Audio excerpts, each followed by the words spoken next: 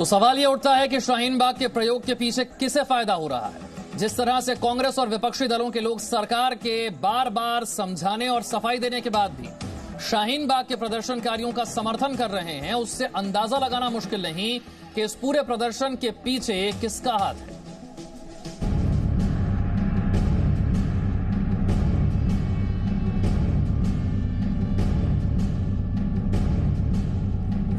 चुनाव शाहीन बाग पर होने जा रहा है।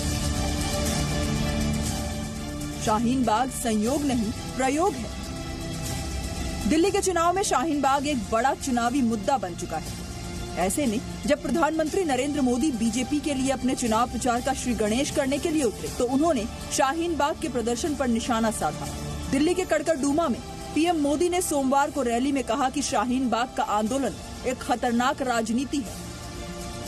सिलमपुर हो जामिया हो या फिर शाहीन बाग क्या ये प्रदर्शन सिर्फ़ एक संयोग है जी नहीं ये संयोग नहीं ये एक प्रयोग है इसके पीछे राजनीति का एक ऐसा डिज़ाइन है जो राष्ट्र के सौहार्द को खंडित करने के इरादे रखता है।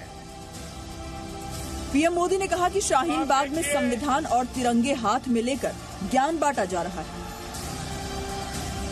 संविधान और तिरंगे को सामने रखते हुए ज्ञान बांटा जा रहा है और असली साजिश से ध्यान हटाया जा रहा है।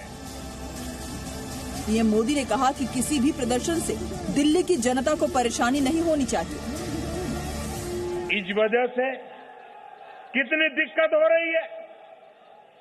दिल्ली से नोएडा आने वा, जाने वाले लोगों को दिल्ली की जनता इसे देख भी रही है समझ भी रही है।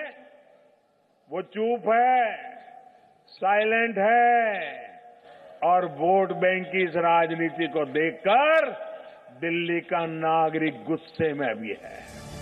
वहीं यूपी के मुख्यमंत्री योगी आदित्यनाथ ने जी न्यूज़ से एक्सक्लूसिव बातचीत में बिना लाग लपेट के कहा कि शाहीन बाग में बिरयानी खिलाने वालों से दिल्ली की जनता को सवाल पूछने का अधिकार है।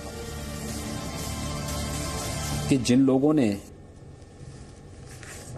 जेएनयू में या जामिया मिलिया में भारत विरोधी नारे लगाए हैं,